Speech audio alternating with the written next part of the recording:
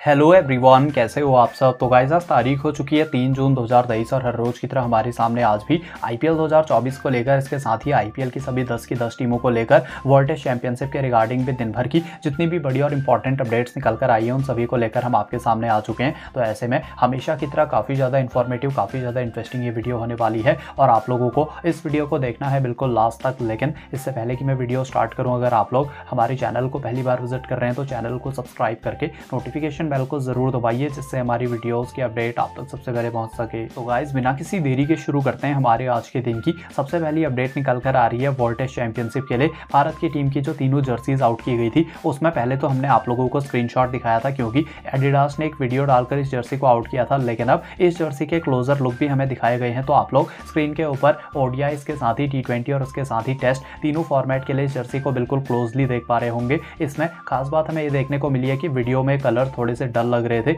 और कुछ फैंस को ऐसा लगा कि शायद पुरानी जर्सी ही वापस से रिपीट हो रही है, अगर हम कलर डिपार्टमेंट की बात करें। लेकिन यहाँ पर अगर आप लोग देखें तो क्लियरली हम देख सकते हैं कि काफ़ी ज़्यादा सेचुरेटेड और काफ़ी अच्छे कलर के साथ इन जर्सीज़ को बनाया गया है। खासकर जो भारत की ट्रेनिंग किट है, उसको देखकर भी आप लोग समझ पा रहे होंगे कि ट्रेनिंग किट जो है, वो काफ़ी ज़्यादा वाइब्रेंट है। तो ऐसे में एडिडास की साइड से जो जर्सी है, वो देखने में काफ़ी अच्छी लग रही है। फ़िलहाल हम चलते हैं हमारे आज के दिन की अगली अपडेट जो कि निकल कर आ रही है रविंद्र जडेजा की साइड से। आईपीएल के बीच में सी के फैंस के द्वारा जडेजा को काफ़ी ज़्यादा ट्रॉल किया गया था। फैंस चाहते थे कि रविंद्र जडेजा आउट हो जाएँ, या फिर वो महेंद्र सिंह धोनी को स्ट्राइक दे दे, क्योंकि सभी को लगा था कि शायद ये एमएसटी का आखिरी आईपीएल होने वाला है, जिसके चलते जडेजा और सीएसके के बीच में काफ़ी मिसअंडरस्टैंडिंग्स बढ़ गई थी। रिपोर्ट्स तो यहाँ तक निकल कर आ रही थी कि अगले साल रविंद्र जडेजा हमें चेन्नई सुपर किंग्स की टीम को छोड़कर किसी और आईपीएल टीम के साथ जुड़ते हुए नज़र आ सकते हैं। लेकिन अब रविंद्र जडेजा की पत्नी रिवाबा ने इस बात को कंफर्म कर दिया है कि रविंद्र जडेजा सीएसके को छोड़कर नहीं जाएँगे। रिवाबा ने कहा, भले ही जडेजा सीएसके के फैंस के साथ काफ़ी ज़्यादा डिसअपॉइंटेड है। लेकिन इसके बावजूद जडेजा उनको छोड़कर नहीं जाने वाले, क्योंकि सी ही उनकी एकमात्र आईपीएल टीम है और ऐसे में भले ही उनके साथ फैंस कैसा भी व्यवहार करे, रविंद्र जडेजा सी की साइड से ही आप लोगों को खेलते हुए नज़र आने वाले हैं। फ़िलहाल गाइज़ हम चलते हैं हमारे आज के दिन की तीसरी बड़ी अपडेट और गाइज़ ये अपडेट निकल कर आ रही है दस के दस आईपीएल टीमों के रिलीज़ प्लेयर्स की लिस्ट के रिगार्डिंग ऑलरेडी एक एक करके हमने हर एक आईपीएल टीम के रिलीज़ प्लेयर्स को कवर कर लिया है। तो अभी से कुछ देर के बाद आप लोगों को हमारे चैनल के ऊपर आईपीएल टीमों के रिलीज़ प्लेयर्स की लिस्ट इसके साथ ही उनका जितना बैलेंस पर्स इन प्लेयर्स को रिलीज़ करने के बाद बच जाएगा। और उस बैलेंस पर्स से कौन कौन से नए प्लेयर्स को अपनी टीम में शामिल करेंगे, इस बारे में पूरी डिटेल में एक वीडियो आप लोगों को आउट होते हुए देखने को मिलने वाली है। तो आप लोग उसके लिए चैनल को सब्सक्राइब करके नोटिफिकेशन बेल को ऑन कर लें। इसके साथ ही आज शाम को हम इस पूरी की पूरी जो रिलीज़ लिस्ट हमारे पास निकल कर आई है, उसको अपने टेलीग्राम चैनल पर अपलोड कर देंगे सिर्फ़ एक। क्लिक से आप लोग उसको डाउनलोड करके चेकआउट कर सकते हैं कि किस आईपीएल टीम ने कौन कौन से प्लेयर्स को रिलीज़ किया है और इसके साथ ही कितना उनका बैलेंस पर्स है तो अभी डिस्क्रिप्शन में दिए गए लिंक से आप फटाफट हमारे टेलीग्राम चैनल को ज्वाइन कर लें। फ़िलहाल गाइज़ हम चलते हैं हमारे आज के दिन की अगली अपडेट जो कि निकल कर आ रही है फाबडू प्लेसी की साइड से,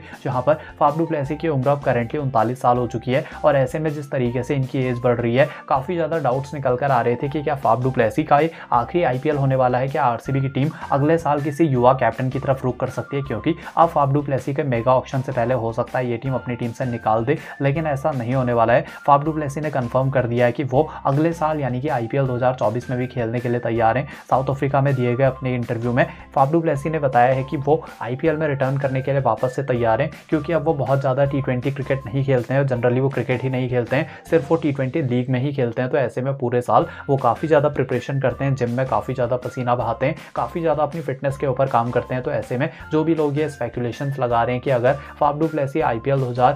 में हमें आरसीबी की टीम को छोड़कर दे, जाने वाले हैं तो ऐसा कुछ भी नहीं होने वाला, जिसके बाद ये चीज़ कन्फर्म होती है कि आईपीएल 2024 में भी फाबडू प्लेसी ही हमें आर की कैप्टनसी करते हुए नज़र आएँगे कमेंट सेक्शन में। कमेंट करके आप लोग बताना कि क्या आप लोग फाबडू प्लेसी को आरसीबी का कैप्टन बनते हुए देखना चाहते हैं या फिर नहीं। फ़िलहाल गाइज़ हम चलते हैं हमारे आज के दिन की अगली अपडेट जो कि निकल कर आ रही है अंबाती रायडू की साइड से, जहाँ पर अंबाती रायडू इस साल आईपीएल 2023 से रिटायर हो गए थे, लेकिन जाते जाते भी सीएसके की टीम को चैंपियन बनाने में इनका एक बहुत बड़ा योगदान था, क्योंकि इन्होंने ही मोहित शर्मा को अटैक करके सीएसके की टीम को टाइटल जितवाया था। तो खैर, अब रायडू की सीएसके की टीम में खेले गए काफ़ी सारे नॉक्स की वजह से सीएसके की टीम चाहती है कि अंबाती रायडू इनके कोचिंग स्टाफ के तौर पर जुड़ जाएँ। वैसे भी सीएसके की टीम इनके जो काफ़ी एक्सपीरियंस प्लेयर्स होते हैं, वो चाहती है कि इनके साथ ही रहें, इनके साथ जो उनकी लॉयल्टी है और उनकी जो लेगेसी है, वो सीएसके की टीम के साथ ही हमेशा बनी रहे। सीएसके और एमआई दोनों ही टीमें इस मामले में काफ़ी ज़्यादा इस तरीके की चीज़ें करती हैं। तो ऐसे में सीएसके की टीम ने ना सिर्फ़ अंबाती रायडू से, बल्कि इनके साथ ही रॉबिन थप्पा और उनके साथ ही सुरेश रैना इनसे भी रिक्वेस्ट की है कि अगर ये चाहें तो चेन्नई सुपर किंग्स की टीम में कोच के तौर पर जुड़ सकते हैं। ऑलरेडी वेन रावो हमें बॉलिंग कोच के तौर पर और उनके साथ ही माइक हसी बल्लेबाजी कोच के तौर पर हमें सीएसके की टीम में नज़र आते हैं। तो ऐसे में सी चाहती है कि ये अब सी की टीम में आ जाए और जो यंग टैलेंट्स हैं उनको अपने टैलेंट को डिस्कवर करने में चेन्नई सुपर किंग्स की टीम की हेल्प करें। फ़िलहाल गाइज़ हम चलते हैं हमारे आज के दिन की अगली अपडेट जो कि निकल कर आ रही है वर्ल्ड टेस्ट चैंपियनशिप के फाइनल मुकाबले को लेकर, जहाँ पर डब्ल्यू का जो फाइनल मुकाबला हमें देखने को मिलने वाला है, उसमें क्योंकि के राहुल हमें पार्टिसिपेट करते हुए नज़र नहीं आएँगे, वो इंजर्ड हैं। तो ऐसे में के राहुल के बदले भारत के सामने काफ़ी बड़ी प्रॉब्लम आ गई है और ये प्रॉब्लम है विकेट कीपर को सेलेक्ट करने को लेकर विकेट कीपिंग के ऑप्शन के लिए भारत के पास वैसे तो एक permanent wicket keeper K S Bharat का ऑप्शन है, जो कि अगर हम विकेट कीपर वाइज बात करें तो बहुत ही अच्छे हैं, लेकिन अगर हम के भारत की बैटिंग की बात करें तो अभी तक इनको जितने भी चांसेस दिए गए हैं, उसमें बिल्कुल भी अच्छा परफॉर्म नहीं कर पाए थे। तो ऐसे में के एस भारत की खराब बल्लेबाजी को देखते हुए भारतीय टीम ईशान किशन को भी कंसिडर कर रही है, जो कि एक प्रॉपर बैट्समैन है, लेकिन ईशान को भी इंग्लैंड में खेलने का कोई बहुत ज़्यादा एक्सपीरियंस नहीं है।